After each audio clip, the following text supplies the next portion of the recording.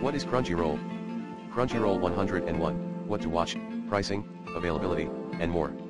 Crunchyroll is a streaming service for anime and manga fans, offering a wide range of genres, series, and movies.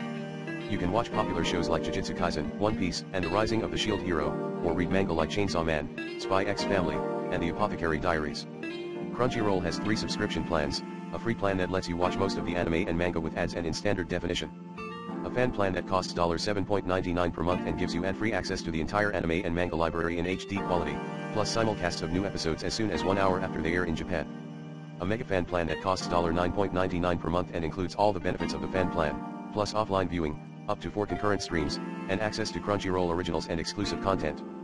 Crunchyroll is available in more than 200 countries and territories, and supports multiple languages, such as English, Spanish, Portuguese, French, German, Arabic, and more Superscript 1. You can watch Crunchyroll on various devices, such as web browsers, smartphones, tablets, smart TVs, gaming consoles, and streaming devices. Crunchyroll is more than just a streaming service.